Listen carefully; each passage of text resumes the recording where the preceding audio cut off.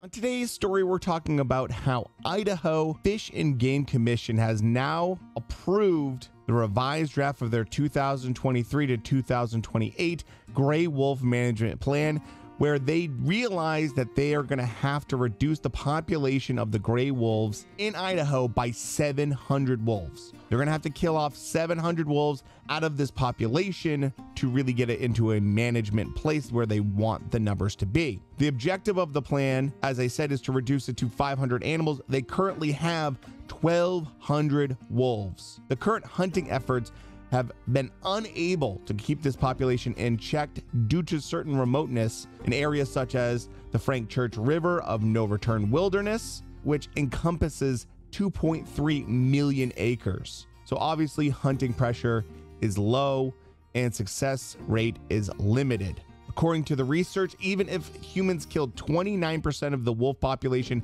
in a year, the population won't decrease significantly and in some cases, population could remain stable in the face of up to 45% human caused mortality, which goes to show just how difficult it is for them to manage gray wolves right now. In Idaho, the challenge lies in the difficulty of controlling wolf populations through ordinary means, as human hunters only account for 11 to 28% of wolf mortality.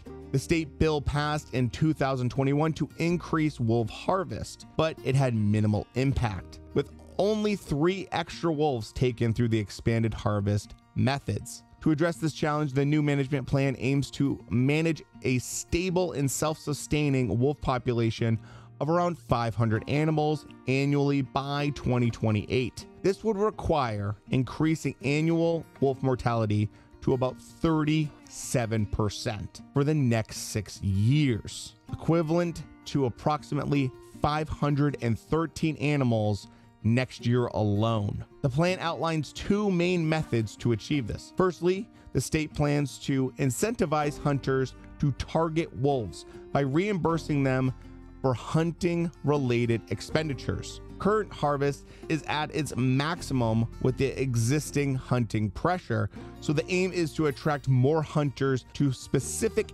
areas with high livestock conflicts or low elk populations due to wolf predation. Second, the plan is to authorize the department to use lethal means to resolve wolf livestock conflicts. This includes targeting and removal of entire packs rather than individual wolves particularly while the wolf population remains above the target goal. Due to these conflicts with livestock, it has cost the state three quarters of a million dollars in compensation to ranchers between 2014 and 2022. While Idaho approach to managing wolf population is aggressive, it is not aimed at exterminating wolves from Idaho. Although with certain animal loving groups, have spoken out and said that this plan will exterminate the wolves from Idaho. By implementing these strategies, basically, Idaho is trying to find a way that they can have wolves at a manageable population level